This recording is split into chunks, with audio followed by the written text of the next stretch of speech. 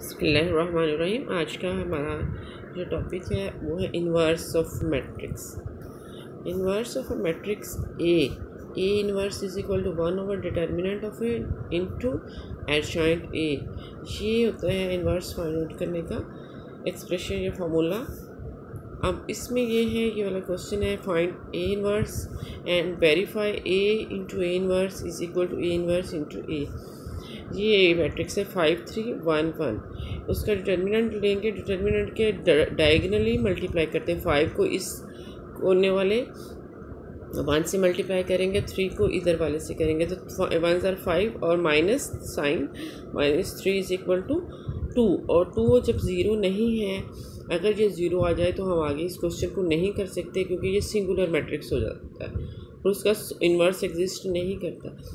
ये to value आ गई है, ये नॉट इक्वल टू ज़ीरो है, इसका मतलब इसका इन्वर्स एग्जिस्ट करता है।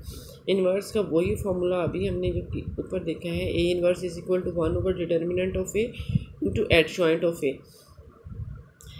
one determinant हमारे पास क्या है? टू है one by two adjoint क्या करते हैं? एट जॉइंट में हम फ़र्स्ट डायगनल वाले एलिमेंट की प्लेस चेंज कर देंगे फाइव वन की जगह पे आ जाएगा और वन फाइव की जगह पे चले जाएगा।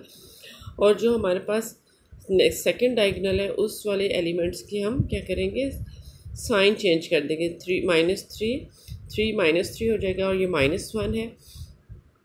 ये वन बाई टू है। अब हमने वेरीफाई करना है। A into A inverse is equal to A inverse into A A को ए इनवर्स से मल्टीप्लाई करेंगे। वन बाई टू चूँकि एक स्केलर है, इसको अपने साइड पे ले लेना है। अब दोनों मैट्रिसेस जो है, इनको हमने मल्टीप्लाई करना है। मल्टीप्लाई करने के लिए ये क्या है? फ़र्स्ट रो को फ़र्स्ट कॉलम से मल्टीप्लाई करते हैं। फ़र्स्ट रो में है फाइव एंड थ्री और नेक्स्ट में है one and minus one five को वन से मल्टीप्लाई करेंगे प्लस थ्री को माइनस वन से करेंगे। तो वो माइनस हमारे पास फाइव को वन से करेंगे फाइव फिर क्या सॉरी वन को माइनस वन से करेंगे फ़र्स्ट कॉलम को। इसने फ़र्स्ट फ़र्स्ट फ़र्स्ट रो को फ़र्स्ट कॉलम से करेंगे। फाइव वन ज़र फाइव एंड माइनस थ्री आना चाहिए। यहाँ पे ये मिस्टेक है। थ्री को माइनस वन से करेंगे प्लस फिर फाइव को माइनस थ्री से करेंगे फिफ्टीन नेक्स्ट प्लेस पे आ जाएँगे। और थ्री को फाइव से करेंगे ये फिफ्टीन ये माइनस वन नहीं है, यहाँ माइनस थ्री आएगा। और ये हमारे पास हो जाएगा नेक्स्ट में भी ऐसा ही है वन को आपने वन से करना है और फिर माइनस वन को भी वन को माइनस वन से करना है। सेकंड रो लेंगे पूरी और इस कॉलम से मल्टीप्लाई करेंगे, फिर इसको इस कॉलम से मल्टीप्लाई करेंगे और फिर आप लिखेंगे। जैसे आप एक पूरी रो को एक कॉलम से मल्टीप्लाई करते हैं तो वो एक एंट्री बनती है मैट्रिक्स की। सेकेंड रो को सेकेंड कॉलम से मल्टीप्लाई करेंगे तो हमारे पास सेकेंड एंट्री बनेगी सेकेंड रो में और लिखेंगे वैल्यूज़ को रो वाइज ये वन फिर माइनस वन आ गया, फिर हमारे पास वन को माइनस थ्री से करेंगे और वन को फाइव से करेंगे। तो ये हमारे पास ये मैट्रिक्स आ जाएगा, ये ये फाइव माइनस थ्री है, यहाँ पे फाइव माइनस वन तो फोर होगा या इसलिए टू आंसर उसने लिखा हुआ ये मिस्टेक है, यहाँ इसको चेक कर लेना। अब ये टू इसमें से हम कॉमन ले सकते हैं, क्योंकि डायगनल में है, ये स्केलर है। हमने पहले पढ़ा था, जो डायगनल में सेम एलिमेंट्स होते हैं, वो स्केलर मैट्रिक्स होता है। तो टू जब हम कॉमन लेंगे, इसमें से वो टू इस टू से कैंसिल हो जाएगा तो यह वन ज़ीरो ज़ीरो वन ये आइडेंटिटी मैट्रिक्स बन गया ऑर्डर टू का। Two cross two two rows हैं और टू कॉलम्स हैं। तो ये हमारे पास इस तरह से, ये हमारे पास आंसर आ गया है। अब नेक्स्ट में अपनी इन्वर्स को लेफ़्ट हैंड साइड पे रखना इन्वर्स मैट्रिक्स को और राइट हैंड साइड पे ए को रखेंगे, उसी तरह से मल्टीप्लाई करेंगे। आप देखिए कि वही आंसर आया। तो इसका मतलब है A into A inverse in A is equal to A inverse into A ये वेरीफाई हमने कर लिया है। अब नेक्स्ट है solve the following system of linear equations अब जैसे इक्वेशन सॉल्व करने का एक सिंपल है मेथड यूज़ भी करते हैं। इसी तरह से ये मैट्रिक्स मेथड जो है इससे भी सिस्टम ऑफ़ लीनियर इक्वेशन को सॉल्व किया जाता है। यहाँ एक्स वन एक्स टू दो वेरिएबल्स हैं। हम मोस्टली एक्स वाई यूज़ करते रहे हैं पहले। तो एक्स वाई भी हो सकता है एक्स जेड भी हो सकता है, कोई भी वेरिएबल हो सकता है। तो three x one minus x two is equal to one first equation है इस सिस्टम की।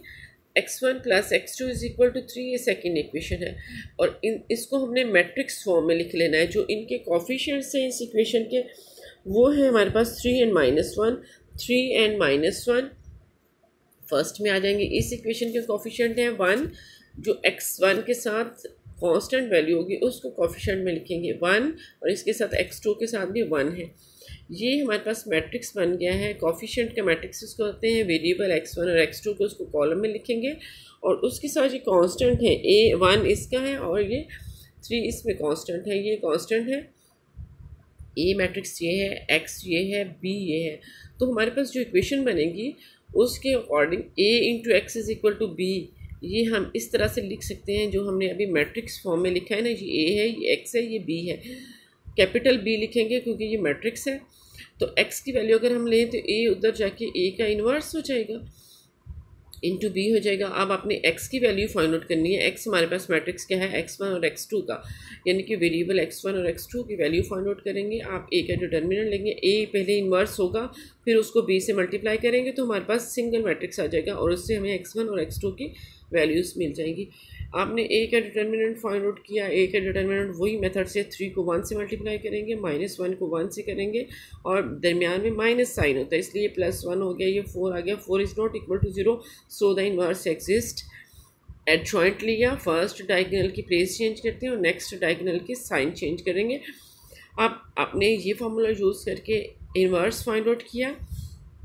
वन बाई फोर जो है हमारे पास इसको अपने साइड पे रखना है। फिर आपने एक्स वन और एक्स टू की वैल्यू फाइंड आउट करनी है। वन बाई फोर और आपने इसको बी से मल्टीप्लाई कर देना है। बी से मल्टीप्लाई करने के बाद ये हमारे पास लास्ट में मैट्रिक्स बच जाता है वन एंड टू तो इसमें एक्स वन के क्रॉसपॉन्डिंग वैल्यू वन है और एक्स टू की क्रॉसपॉन्डिंग वैल्यू टू है। तो एक्स वन की वैल्यू वन है और एक्स टू की वैल्यू टू है। तो ये हमारे पास इस इस तरह से हमने इसका सोल्यूशन फाइंड आउट कर लिया। सेम इसी तरह से ये एग्ज़ाम सोल्यूशन है।